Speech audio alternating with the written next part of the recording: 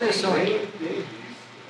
Em vez de ensinar a posição, eu vou mostrar um conceito aqui que eu estou vendo que a galera está errando. Então eu vou mostrar é um detalhinho, porque na verdade a posição é sempre um exemplo do conceito, né? Você tem esgrima e em várias posições você mostra como que a esgrima atua naquela situação. Então é mais ou menos isso aí. Então a esgrima é muito importante. Então toda vez que eu for vencer a esgrima, que eu for brigar pela esgrima, o ideal não é que eu brigue com a minha mão. Porque toda vez que eu brigo com a minha mão, eu abro meu cotovelo e fica uma guerra. Tá vendo? Então toda vez que eu for ganhar a esgrima, é melhor que eu ganhe a esgrima com o cotovelo. Tá entendendo? Porque o cara vai avançar o peso, se meu cotovelo passar lá, ó, ó, ó, ó minha mão, ó, tá vendo? Aí qualquer totozinho meu pra frente, ó, joga ele pra frente. Então, eu tenho que me posicionar de uma forma a que na hora que ele passe um pouquinho aqui do meu cotovelo aqui, ó, ó agora é a hora de ganhar esgrima. Porque se eu for fazer isso aqui, ó, ele pode ganhar, ou se eu for tentar colocar a mão e ele adiantar aqui o corpo aqui, eu já não consigo entrar com a mão mais, ó. Tá vendo?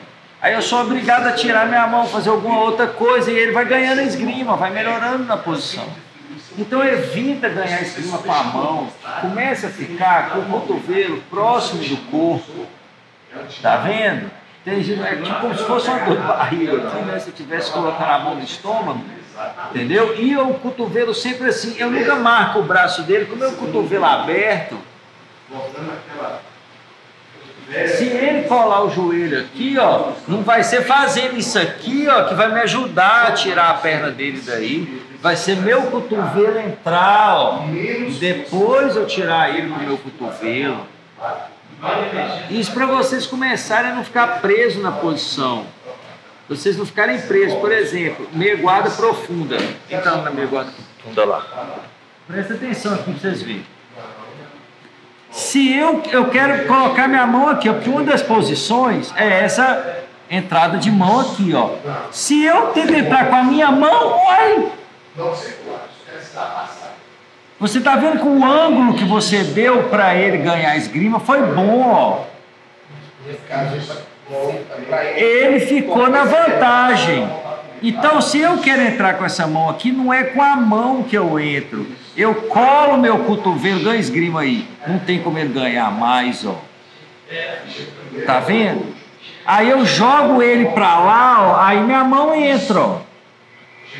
Sem eu precisar passar esse sufoco de tomar esgrima, entendeu? Então eu quero fazer as coisas, eu tenho que fazer de forma a que eu não deixe que o cara crie esses ganchos em mim. Porque se você for notar a esgrima, ele criou um gancho aí que ele pode tacar o peso em cima de mim que não tem problema. Eu não consigo nem fundar mais para debaixo dele, e nem e se eu correr por lá de fora aqui, aí eu estou esgrimado. Então, antes de começar a fazer qualquer esgrima, feche seu cotovelo. É o braço de dinossauro que o pessoal faz, braço de dinossauro. E aí, se eu lhe lanço o peso, ó, a mão já tá lá, ó, para entrar, ó. Tá vendo? Aí tem uns que perguntam, ah, mestre, mas tem uns caras bons de ganhar esgrima. Ele foi lá e ganhou a esgrima. Tá bom. Você tomou a esgrimada, você tem que saber o que você vai fazer. Entendeu? Tem um ditado muito interessante que diz que se a montanha não vai Maomé, Maomé tem que ir até a montanha. Então, toda vez que ele ganha esgrima, ele faz algo que não é bom para mim, que é isolar meu braço do meu corpo. E eu não consigo puxar mais o meu braço. Tá vendo? Então eu tenho que direcionar o meu corpo em direção ao meu braço. E é o corpo todo. Eu de barriga para cima aqui, eu tivesse esgrima, mas como é que eu vou puxar minha mão lá? Não tem jeito. Então o meu corpo ó, balança todo ó, em direção. Fui para lá, fui para cá, joguei. Ó. Aí a esgrima sai. Ó. Tá vendo? Se a esgrima estiver aqui, eu tenho oportunidade de segurar o braço dele, tirar meu braço, segurar por aqui, tirar meu braço. Esse braço está me ajudando, mas o meu corpo todo virou para lá. Ó. Entendeu? Eu fui em direção ao meu braço, não tinha como puxar mais ele, mas o meu corpo tinha como ir para ele. Tem que tirar a mão justamente para pôr. Pra... Exato, ele tem que botar esse equilíbrio. Você entendeu? E outra, eu mesmo que ele conseguisse ficar, quanto mais eu entro para o lado do braço, mais eu facilito essa mão me ajudar. Ó. Tá vendo? Aí eu colei de novo. Agora olha só para você ver, olha aqui, ó, ó, ó, a mão entrando, ó, como é que tem um buraco aqui, ó. Aí é só jogar o ombro para frente, entrei com o braço. Não tem mais esgrima para ele. Se ele voltar para lá de novo, ele já volta sem ter condição nenhuma de ganhar esgrima mais. Para quê? Para você não ficar passando esse sufoco. Porque se você entra aqui na minha invertida e toma essa esgrima, como para você entrar um sufoco danado? Tem gente que até consegue segura aqui, ó, e trava, vai tentando entrar, beleza. Entendeu? Mas você não tem necessidade de fazer essa força toda. Ele ganhou esgrima, eu às vezes seguro aqui para não deixar ele levantando meu braço, ó. Tá vendo? Aí eu vou e viro, ó, todo, ó, e ups, só. Aí eu já volto com a mão lá, exatamente para não dar esse mole para ele, para não ficar tomando esgrimada. Porque tomar esgrimada, cara, é a pior coisa. Você dá uma vantagem pro cara. Não é que você não possa sair dela ou até fazer algum ataque nela, mas é muito mais difícil.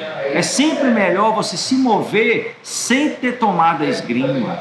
Então é muito importante esses pequenos detalhinhos. Entra sempre com o cotovelo primeiro, entendeu? Sempre com o cotovelo primeiro. Se eu estou na meia guarda aqui assim, ó, tá vendo? Não vai ser que ele lá, eu vou ganhar aqui com a mão aqui. Na hora que eu abro lá para ganhar, ele vai ganhar, ué.